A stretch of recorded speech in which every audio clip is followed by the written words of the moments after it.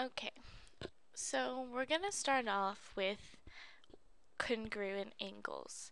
And congruent angles are just angles that have equal measures. And we measure angles in degrees. So we have right here angle ABC. And if we measured it, we would find that the measure of angle ABC is about 63 degrees. And over here we have angle DEF, and if you measured that, you would find out that that is about 63 degrees as well. So since the measure of angle ABC equals the measure of angle DEF, we can say that angle ABC and angle DEF are congruent angles. Okay, so now that we know that, we're going to go on to something else, which is called the addition property of angles.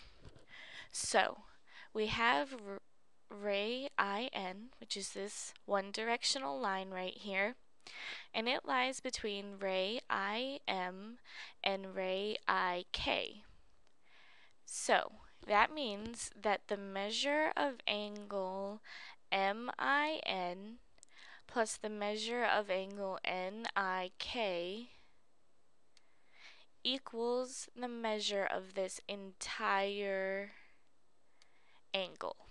Which makes sense because if you add up the parts of something, you're going to get the total of the whole. So say I know that the measure of MIN is equal to 63 degrees. And I know that the measure of NIK is equal to 55 degrees.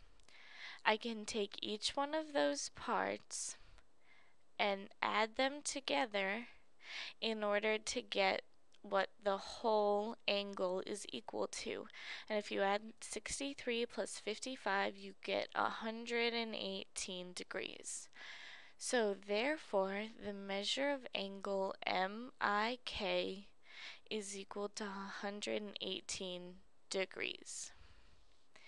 Okay, so now that we know that, we're going to do a couple examples using these two properties. Okay, so I know that angle QRT is equal to 62 degrees. If the measure of angle TRS, which is this angle right here, is equal to 43 degrees, what is the measure of this whole angle? So I can take 62 plus 43 and I get 105 so the big angle, angle QRS, is equal to 105. So for number two, I know that the measure of HIJ, which is this entire angle, is 138.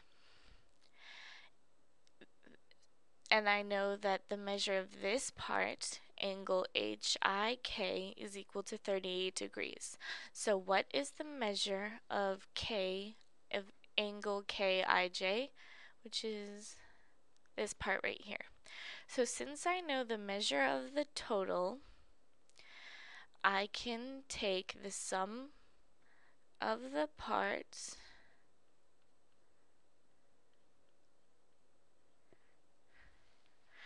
and set it equal to 138 with x being the measure of this angle. So if I subtract 38 from 138, I'm going to find out what the other part equals, which is 100. So therefore, the measure of angle KIJ is equal to 100 degrees. That's using the same property, I'm just doing the opposite. Okay, so now we have one more example. Example 3. Angle ABC and angle CBD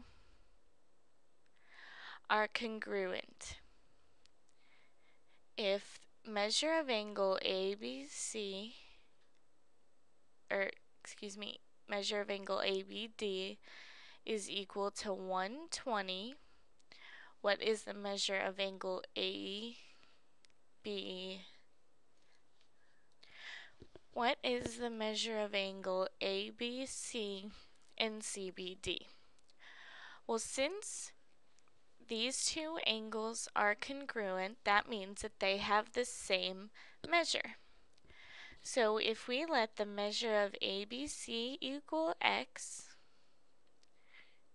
equals x, we can take 2x and set it to the total because these two angles represent two equal parts of the whole angle.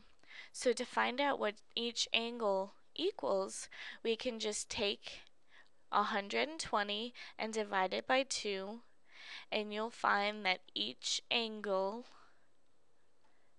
equals 60 degrees. Okay, so now that you know the properties of angles, be sure to watch the next video which will go over special angle pairs and how they relate to one another.